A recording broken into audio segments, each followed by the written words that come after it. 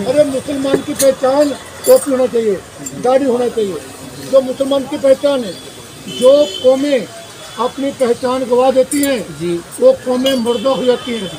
उन कौमों का वजूद मिट जाता है जो अपनी कौमें पहचान गवा देती हैं। अगर आप मुसलमान हैं तो अपने हमारे सर पे टोपी होना चाहिए।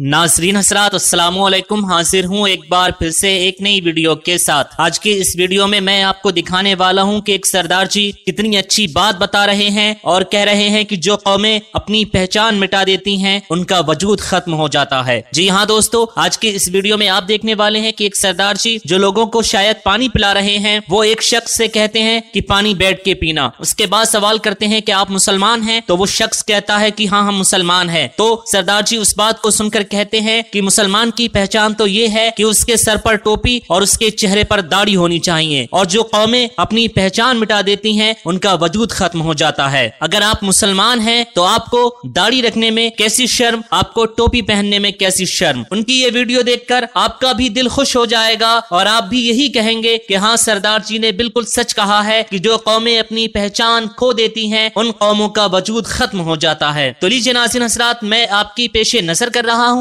आज की ये बहुत ही ज़्यादा खूबसूरत वीडियो।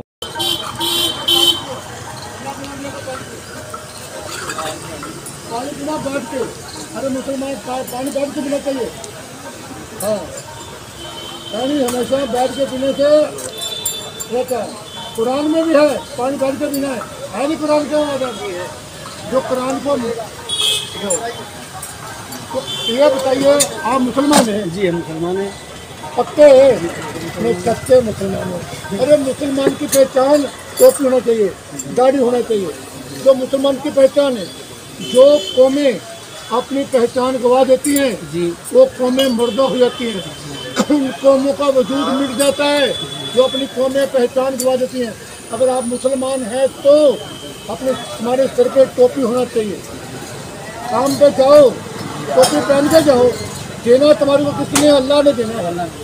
देना किसने है अल्लाह ने ये अल्लाह पे भरोसा रखो। तो जो अल्लाह की दिया वो जो तुम्हारे नसीब में है ना, वो तुम्हारे को मिलेगा, ज़रूर मिलेगा। अपने सिर पर टोपी रखो। जो अपनी कौमें पहचान गवा देती हैं, वो कौमें मुर्दा हो जाती हैं।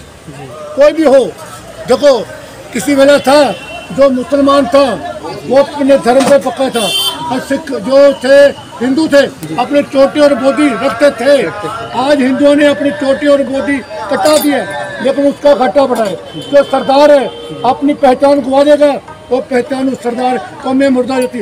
जो अपनी पहचान बरकरार रखती है, वो कौमें ज़िंदा रहती हैं। तो जो कौम अपनी पहचान शर्म महसूस करती है, टोपी पहनने से, दाढ़ी रखने से पहचान करते जो हमारे सिख हैं, बच्चे दाढ़ी कटाते हैं, जो हिंदू अपने जनेऊ नहीं पहनते, जो अपनी कोई भी कौम है, जो अपनी पहचान गवाती है, वो तो कौम मुर्दा हो जाती है।